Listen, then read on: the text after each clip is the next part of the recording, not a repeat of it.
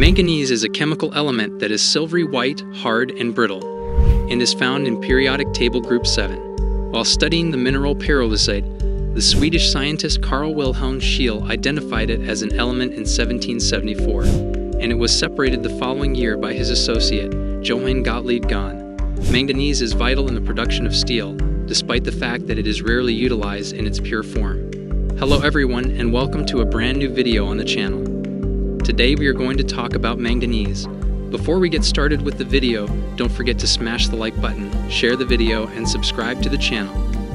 Now let's get started. Manganese, in combination with other elements, is widely dispersed throughout the Earth's crust. Manganese is the second most abundant transition element in the Earth's crust, after iron. It has physical and chemical qualities similar to iron, but is harder and more brittle. It is found in a number of significant deposits, the most important of which are manganese dioxide ores such as pyrolusite, romanechite, and wad. Manganese is required for plant growth and is involved in nitrate assimilation in green plants and algae. It is a trace element that is needed in higher animals and is involved in the function of numerous enzymes. The majority of manganese produced is used to make ferromanganese and silico-manganese alloys for iron and steel production. Manganese ores containing iron oxides are first reduced with carbon in blast furnaces or electric furnaces to produce ferromanganese, which is then used in steel production. The addition of manganese, which has a higher affinity for sulfur than iron, changes steel's low melting iron sulfide to high melting manganese sulfide. Steel, which is produced without manganese, breaks up when hot rolled or forged. Steels typically contain less than 1% manganese, Manganese steel, which contains 11 to 14% manganese, is used for extremely severe service. It produces a strong, wear resistant, and self renewing surface over a robust, unbreakable core.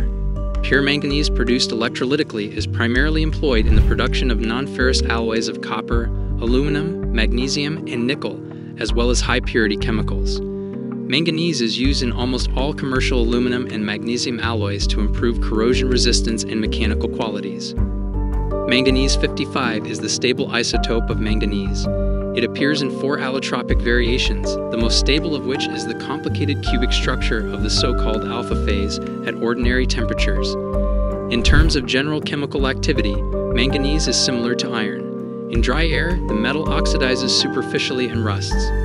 It, like iron, burns in air or oxygen at high temperatures, decomposes water slowly when cold and quickly when heated, and dissolves readily in dilute mineral acids with hydrogen evolution and the creation of the matching salts in the plus 2 oxidation state.